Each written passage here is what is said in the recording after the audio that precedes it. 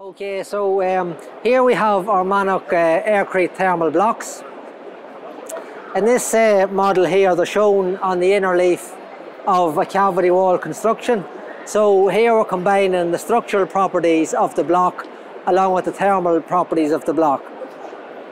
One of the key benefits of them in this particular wall construction is at the junctions. So if we go down here, look now at the floor to wall junction, so we've got all our insulation in our cavity and we've got our floor insulation and we're spending a lot of money on our cavity and floor insulation. But as we can see here, the insulation layer is broken by this block. And if this wall was built with a traditional dense concrete block, we'd have an awful lot of heat flowing down through that block and escaping to the outside. But by substituting the dense block inner leaf with a, a aircrete thermal block, providing continuity of insulation across the junction. So this improves the performance by this particular junction by over 10 times. And there's actually seven, eight, nine typical junctions just like this in any um, house where the Mannok aircrete block inner leaf um, improves the thermal performance of the junction by uh, reducing that cold bridge. What it also does is increases the surface temperature at that location and that reduces any risk of condensation and mold growth on the walls. So um, that's uh, in this particular build that's the key benefits of uh, aircrete blocks. The other key benefit of block work in general um, over and above other forms of um, construction like timber frame for example is uh, fire rating. This particular 100 mil wide block has a two hour fire resistance.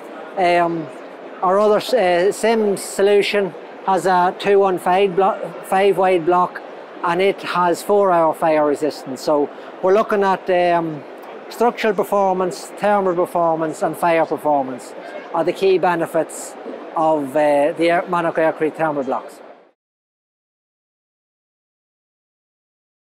So we've looked at our um, traditional cavity wall construction with the inner leaf dense block uh, replaced with the Mannok aircrete block and discuss the benefits of that.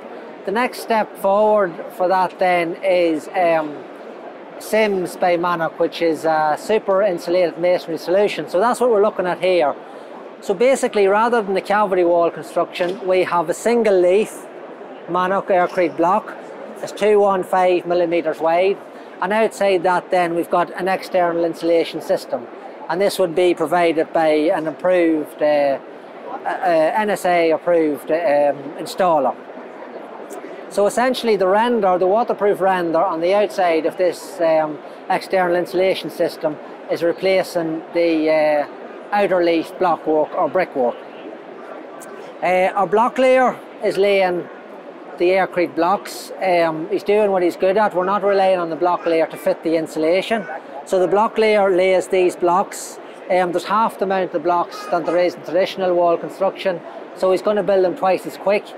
When he has that built then, the roofer puts on the roof and the windows are installed and the house, the inside finishes can, can uh, force fixing can take place then and then the specialist contractor comes along and uh, fits the external insulation on the outside.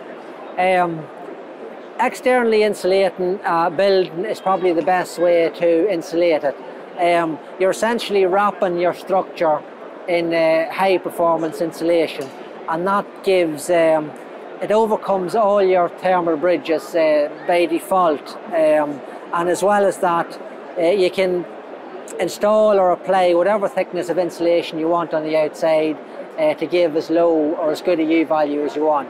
Here we're looking at uh, a 215 Mannok aircrete block with 150 mil of Mannok EPS insulation and that's getting you a U value in around 0.17.